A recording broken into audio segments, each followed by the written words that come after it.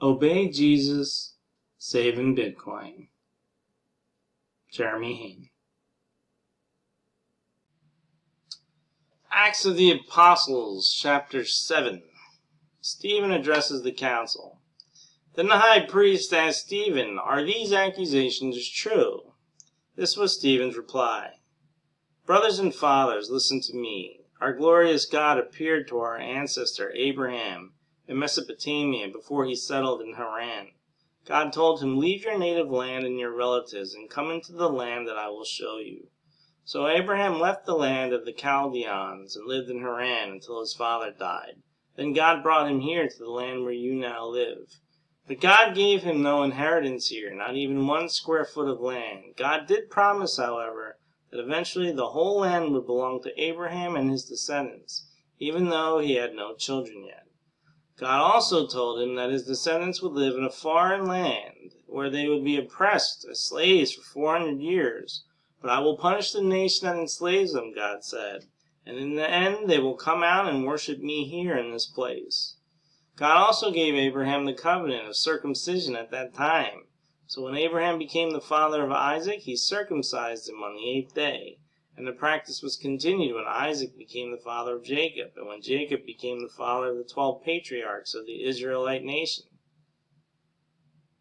These patriarchs were jealous of their brother Joseph, and they sold him to be a slave in Egypt. But God was with him, and rescued him from all his troubles, and God gave him favor before Pharaoh, king of Egypt. God also gave Joseph unusual wisdom, so that the Pharaoh appointed him governor over all of Egypt and put him in charge of the palace.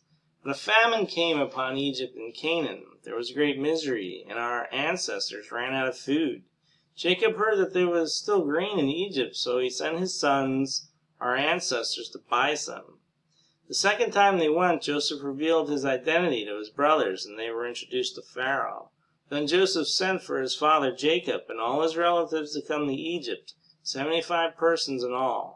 So Jacob went to Egypt. He died there, as did our ancestors. Their bodies were taken to Shechem and buried in the tomb Abraham had bought for a certain price from Hamor's sons in Shechem.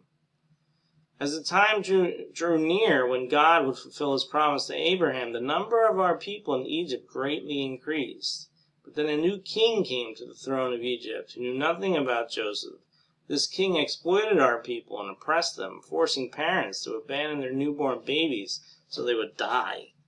At that time jo- Moses was born, a great, a beautiful child in God's eyes. His parents cared for him at home for three months. When they had to abandon him, Pharaoh's daughter adopted him and raised him as her own son. Moses was taught all the wisdom of the Egyptians, and he was powerful in both speech and action. One day when Moses was forty years old, he decided to visit his relatives, the people of Israel. He saw an Egyptian mistreating an Israelite. So Moses came to the man's defense and avenged him, killing the Egyptian. Moses assumed his fellow Israelites would realize that God had sent him to rescue them, but they didn't. The next day he visited them again and saw two men of Israel fighting. He tried to be a peacemaker. Men, he said, you are brothers. Why are you fighting each other? But the man in the wrong pushed Moses aside. Who made you a ruler and judge over us? he asked. Are you going to kill me as you killed that Egyptian yesterday? When Moses heard that, he fled the country and lived as a foreigner in the land of Midian. There his two sons were born. Forty years later, in the desert near Mount Sinai, an angel appeared to Moses in the flame of a burning bush. When Moses saw it, he was amazed at the sight. As he went to take a closer look, the voice of the Lord called out to him, I am the God of your ancestors, the God of Abraham, Isaac, and Jacob. Moses shook with terror and did not dare to look.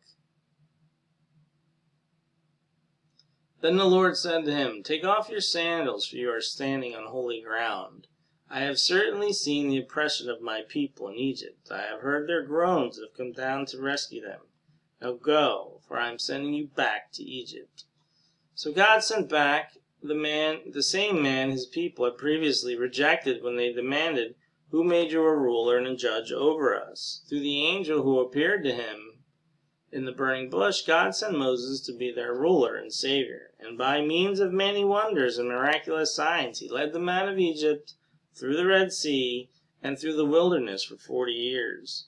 Moses himself told the people of Israel, God will raise up for you a prophet like me from among your own people. Moses was with our ancestors, the assembly of God's people in the wilderness, when the angel spoke to him at Mount Sinai, and there Moses received life-giving words to pass on to us.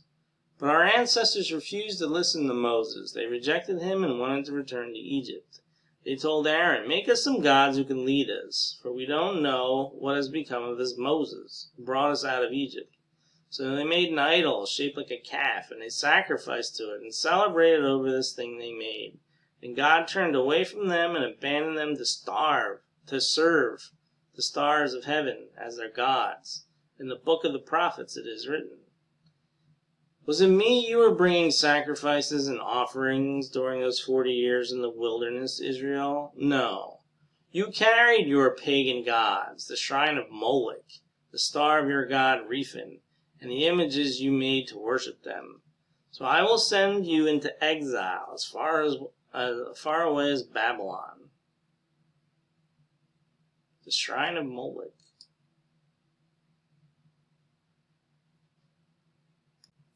Our ancestors carried the tabernacle with them through the wilderness. It was constructed according to the plan God had shown to Moses. Years later, when Jesus led out our ancestors in a battle against the nations that God drove out of this land, the tabernacle was taken with them into their new territory, and it stayed there until the time of King David. David found favor with God and asked for the privilege of building a permanent temple for the God of Jacob. But it was Solomon who actually built it. However, the Most High doesn't live in temples made by human hands, as the prophet says. Heaven is my throne, and the earth is my footstool. Could you build me a temple as good as that? asked the Lord. Could you build me such a resting place? Didn't my hands make both heaven and earth? You stubborn people, you are heathen at heart and deaf to the truth. Must you forever resist the Holy Spirit? That's what your ancestors did, and so do you. Name one prophet your ancestors didn't persecute. They even killed the ones who predicted the coming of the righteous one, the Messiah whom you betrayed and murdered. You deliberately disobeyed God's law, even though you received it from the hands of angels. The Jewish leaders were infuriated by Stephen's accusation, and they shook their fists at him in rage.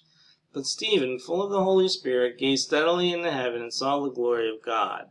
And he saw Jesus standing in the place of honor at God's right hand, and he told them, Look, I see the heavens opened and the Son of Man standing in the place of honor at God's right hand. Then they put their hands over their ears and began shouting. They rushed at him and dragged him out of the city and began to stone him.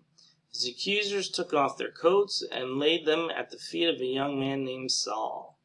And as they stoned him, Stephen prayed, Lord Jesus, receive my spirit. He fell to his knees, shouting, Lord, don't charge them with this sin. And with that, he died.